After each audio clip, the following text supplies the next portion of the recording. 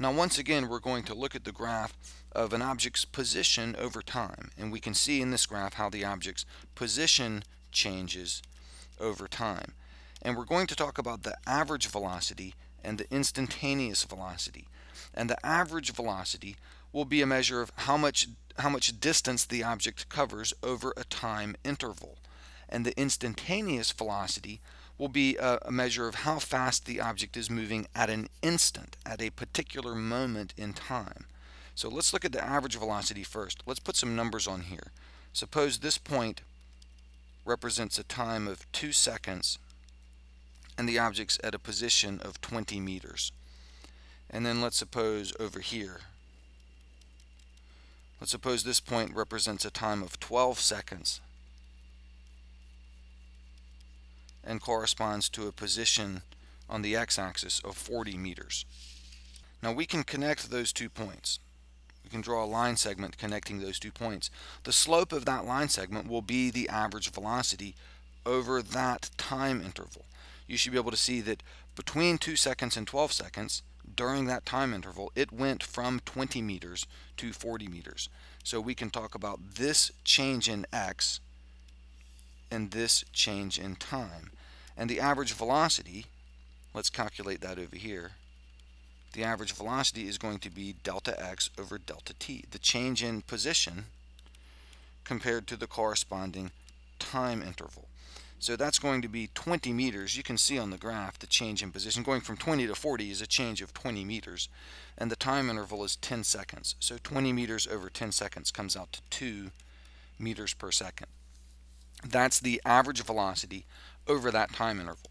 Now, part of the time it was moving forward, part of the time it was moving backward, and part of the time it was moving forward again. But on average, it was moving 2 meters per second forward.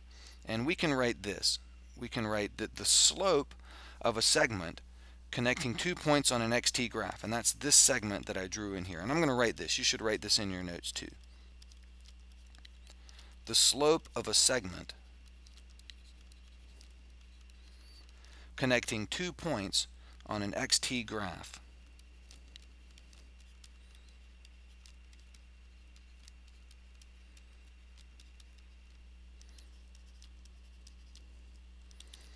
the slope of a segment connecting two points on an xt graph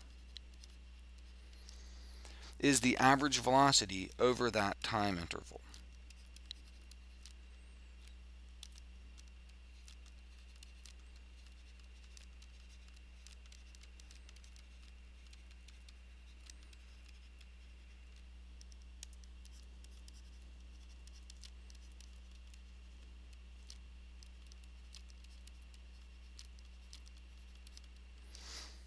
Slope of a segment connecting two points on an xt graph is the average velocity over that time interval.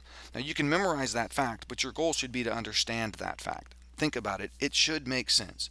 You connect any two points on an xt graph, you get a line segment. The slope of that line segment is the average velocity over that corresponding time interval. Sometimes though we don't want to find the average velocity, we want to find the velocity at a particular moment. So for example, what if we had this moment in time right here, 5 seconds? And that corresponds to this point on the graph. And we want to know how fast it's moving at that particular instant. One moment in time. So there's no, no time interval here. Instead we have an instant, one particular time and we want to know the velocity at that particular moment. We need the slope at that point.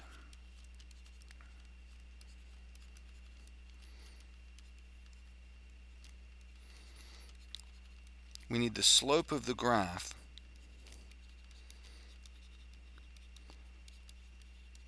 at that point. So this is this corresponds to a particular x value here on the graph.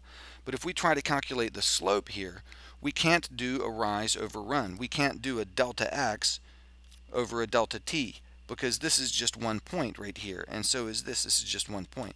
So our delta x here would be infinitely small and our delta t would be infinitely small. If we're trying to calculate a slope of an infinitely small point on the graph right there you can see the graph does have a particular steepness.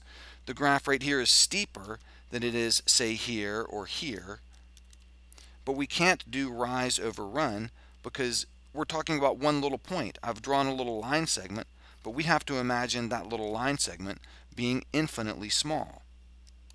Now we could imagine this graph being made up of a bunch of little tiny straight line segments. And at a particular moment in time, one of those segments would have a particular steepness. But to be accurate, we would have to imagine an infinite number of infinitely small little line segments. The slope of each one would be the slope of the graph at a particular point. And that slope that we're trying to find uh, right here in this case is what we call the derivative. The word derivative really just means the same thing as slope, and we recognize that it can be different at every point on the graph.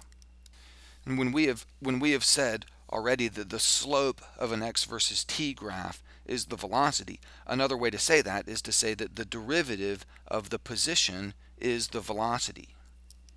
Because derivative essentially means the same thing as the slope. Now to find the slope at this particular point, here's what we're going to do we're going to draw a line tangent to the graph at this point. So you want to draw a line that just barely touches the graph at that one point.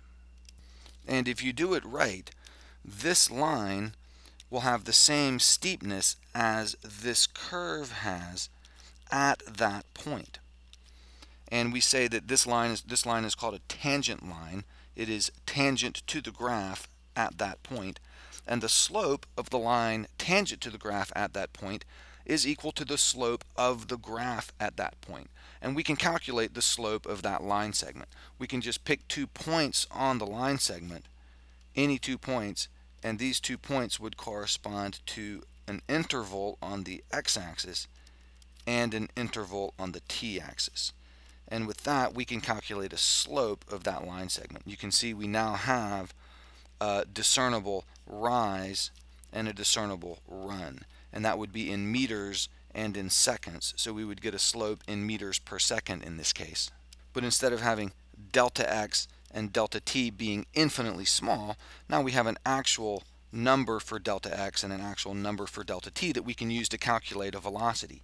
And that would be uh, the slope represented by this line, and that would be the velocity at that moment, at that instant, what we call the instantaneous velocity. And we would also say that the value, the number we get for the slope of this segment is the derivative of this graph at that point.